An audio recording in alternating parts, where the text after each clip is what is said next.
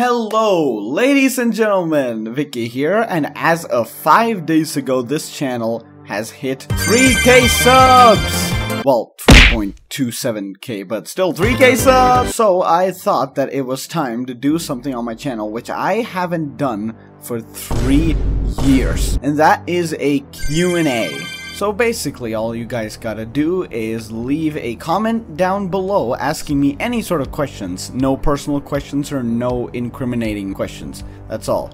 I will try to answer as many of them in the next answering video, but I oh, obviously I can't answer all of them. So yeah, just make it simple and quick, and I will try to answer whichever one I pick. I ain't got really much to say, except thank you guys so much for the immense support I've gotten all these years. I wouldn't have gotten here without you guys. And of course, I also gotta give it to my friends who have supported me very well in the last uh, few years and so much to get me up till here. So yeah, thank you. That's really all I have to say for this video, nothing much to say, and I will see you guys in the next video where I answer your question. Take care of yourselves, and peace!